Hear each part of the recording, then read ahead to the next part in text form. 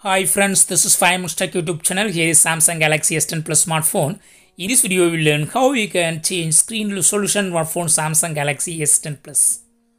First of all, our phone, go to the settings and click on display.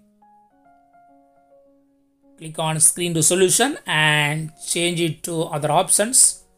You can change between these three options. I have selected third option and click on apply now screen resolution be changed. Again I go to the settings and click on display. Now click on screen resolution and I set in first option HD plus. So screen resolution is according to what I have changed. And again I go to the same settings and click on screen resolution and set it in default position. Second option full HD plus in this way, you can easily switch between the solutions. That's all friends. Bye.